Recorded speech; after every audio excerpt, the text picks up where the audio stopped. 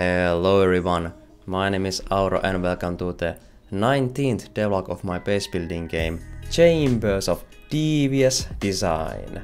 In this video I will showcase a few visual effects and quality of life things that I added that I hope will make the game more enjoyable to play. So, as they say, new year, same game. Let's get started.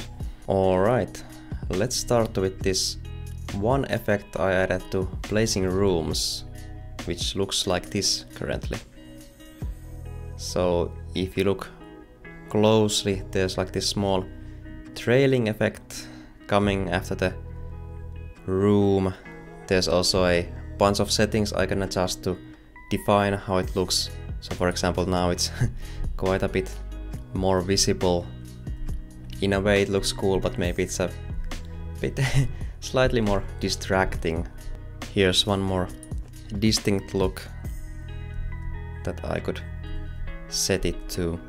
I also tried the like default Unity trail renderer component which you can currently see on screen. There's two different versions. This is a video I took from before when I was trying like these different kinds of tails that might look cool in the game. I figured that since moving the rooms is a big part of the game, uh, if I were to add a like this satisfying small effect to that like part of the game, I feel like it would go a long way since it's so like integral part of the game. But I'm not too sure what I think about this effect currently. Like for example this version I think might be a bit too much so much that it's like distracting in the game. So that's why what I currently have it set to is like this very toned down version of it. Like you can see it, but it's not so like obvious. But uh, I would love to hear what you think. Like which of these like different versions I showed you looks good to you, or do you think it's like completely unnecessary having this kind of an effect in the game like even if it might look cool what do you think? Is it too distracting or yeah. I would love to hear what you think because I honestly don't I honestly don't really know if I should include it in the game or not. Maybe I could have it as like as an option that you can turn on to have like some cool effects or yeah I don't know. I, I would love to hear what you think. And if you're curious how I did this, it's actually fairly simple. Uh, it's not using the like Unity trail renderer uh, component at all. It's a custom solution. So when I pick up a room, it, it activates this update function that basically just like creates new sprites or well actually I'm using a object pool. So it moves existing objects like where the room currently is. And then I have a like small coroutine that just like fades away that sprite that was just like moved to the location. And then I also have like this small additional effects added to it. Like if you look closely the like trailing effect gets slightly smaller like as it disappears. Just like a small touch that I think looks alright. If I toggle it on, I don't know if you can see a big difference, but yeah, uh, this is also not bad, but I think it looks slightly better if it gets smaller. And yeah, then I also like color the sprite according to which room is big. So it's a colorful trail.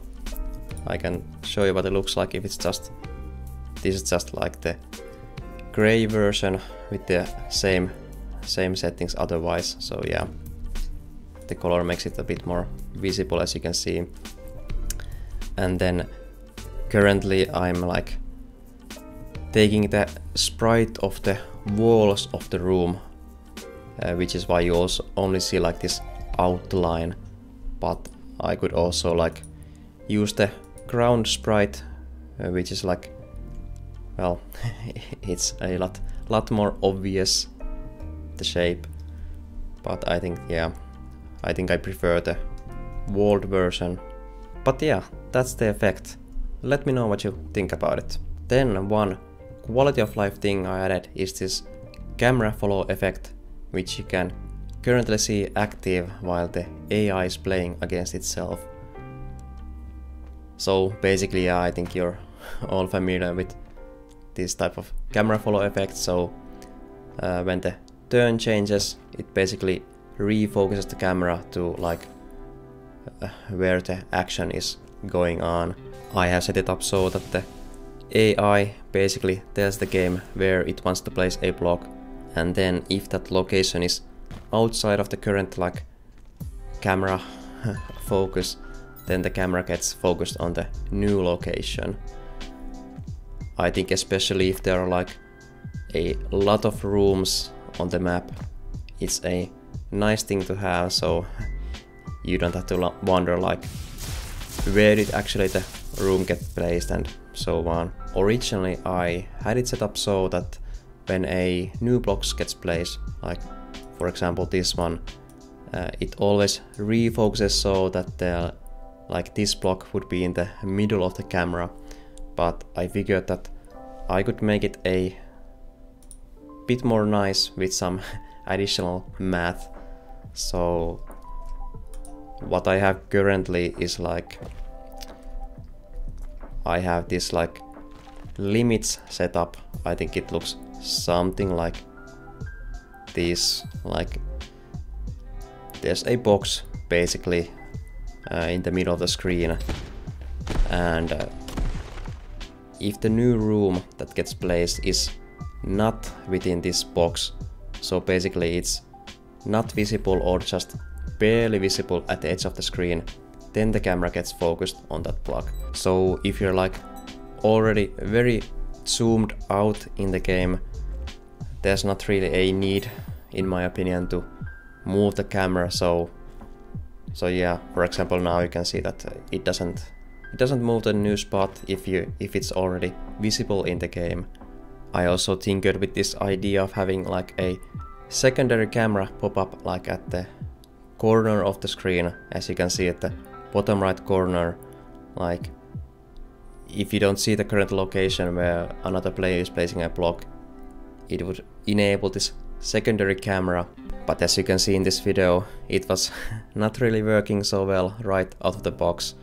Like the available rooms are floating on top of the camera and I think that could have been fixed pretty easily with some like layering but I figured that there might be like some unexpected effects later on like or some bugs that I had to fix so I figured that ah, I just ditch this idea and go with the like camera focus that I just showed you earlier so so yeah.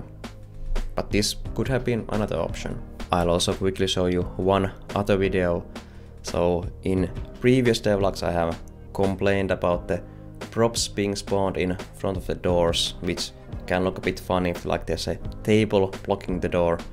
So basically I tried solving that by having a check that a prop couldn't get placed in front of the door. But as you can see, I think this blue room is a good example that at least in smaller rooms it can get like very barren with the props. There's only like one, I think that's chest over there, but normally there probably would be like props spawning here and whatnot, but yeah, uh, I, I don't think it's a very good look that it's so so empty. Especially when you compare it to when I don't do anything to prevent the spawning in front of doors. So there's this like exact same shape and color. So as you can see, there's a lot more stuff going on in the room. Like yeah, sure this cupboard here is blocking the door, which looks a bit funny, but I think it's I think it still looks a bit better than having it almost completely empty and yeah there are some solutions that I could like have for this I could for example make it so that like these papers on the ground they are on a like separate category that can be placed in front of the doors while as the cupboard cannot be placed. But that's again like extra effort that uh, I don't know if it's worth it actually. But yeah, that was something I want to quickly show that yeah, I was thinking about this problem. And I would love to hear if you think the like props in front of the doors are a big problem or not. Then I also did a bunch of like small miscellaneous things. Like for example, I added a couple of new props in the game.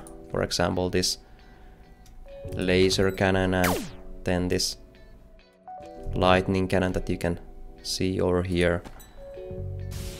And I also worked on the sound effects a bit and I was also digging up some music for the game. That's not added yet, but soon it should be. One quality of life thing that I could mention is what I personally really like is like this rotation rounding effect. So it's I don't know if it's obvious, uh, maybe not too much so, but basically in my game uh, you actually can only place blocks like in 90 degree angles. So there's always like four different rotations in which you can place a room uh, next to your existing rooms. So while previously, for example, uh, let's, yeah, I think this is a good example. If I didn't have any rotation, like rounding, placing a cannon could be a like bit troublesome because you can see like the red line where the laser is going in this case. But if the rotation was just like a slightly off uh, it could be very confusing when you thought it would just barely hit like for example like this. It would barely hit but then actually the rotation would get realigned to the like or routed up to the like 90 degree version. So then you actually missed when you thought it would hit. So that was not very nice as a player.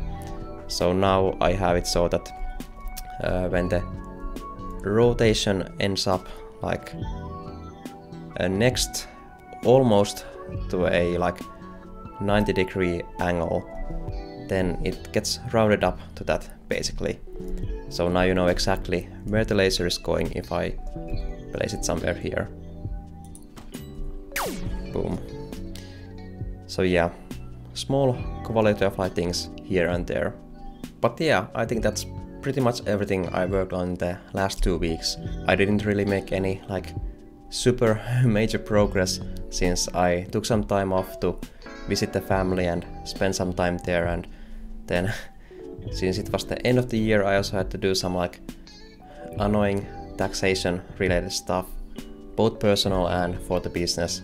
And yeah there's also like this like business accounting things I had to do for the end of the year. But luckily that's now past me so I can again focus more on the game instead of like moving numbers in Excel. Alright, but hey, thanks for watching and I'll see you in the next one.